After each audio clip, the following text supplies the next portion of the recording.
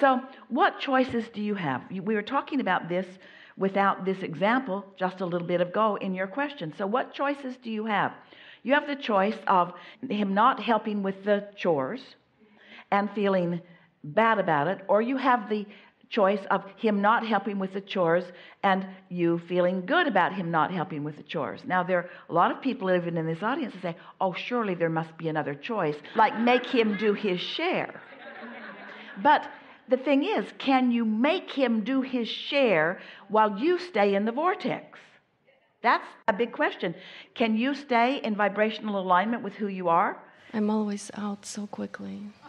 So I probably can, but I'm never in my vortex when we are on that topic. You know what you don't want, speak it relative to this as succinctly as you can.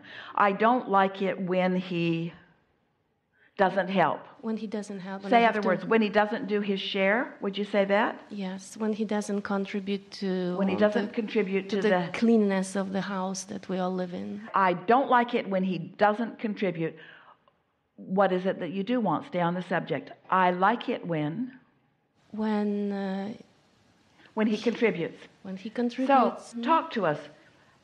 Does he contribute to this family? yes. Is he a light-hearted, energetic being? Yes. Is that a contribution? yes. In what ways does he contribute? Does he enthusiastically eat the food that you provide? Most of the time. Do you get any satisfaction from that at all? Yes.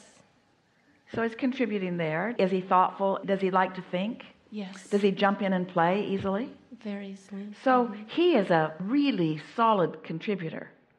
He's making his contributions in ways maybe that are a little different. But as you focus upon what you want, as you look for the positive aspects, and you activate more of that within you, that's where your power of influence comes from. And just like Esther not being able to find something that she thought was lost, you're not going to be able to elicit any improvement improved by your standards behavior from him while you're focused upon what isn't happening. But when you focus upon what you do want, then timing and opportunity will show itself. And it is our knowing that you will stumble upon or be guided to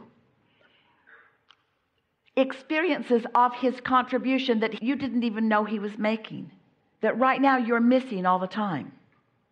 Because when you've made up your mind about someone, you don't see who they really are.